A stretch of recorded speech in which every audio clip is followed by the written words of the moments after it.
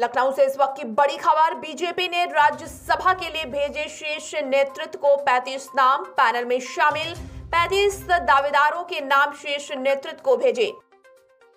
CM आवास पर core committee की बैठक के बाद नाम तय। पार्टी के वरिष्ठ पदाधिकारियों के नाम भी सूची में शामिल। सुधांशु त्रिवेदी विजय पाल सिंह तोमर का नाम शामिल।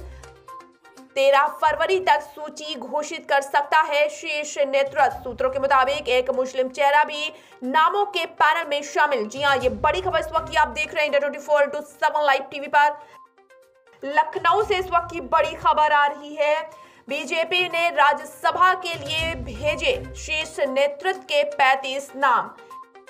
सीएम आवास पर कोर कमेटी की बैठक के बाद नाम तय। पार्टी के वरिष्ठ पदाधिकारियों के नाम भी सूची में शामिल। सूत्रों के मुताबिक, सुधांशु त्रिवेदी विजय पाल सिंह तोमर का नाम शामिल।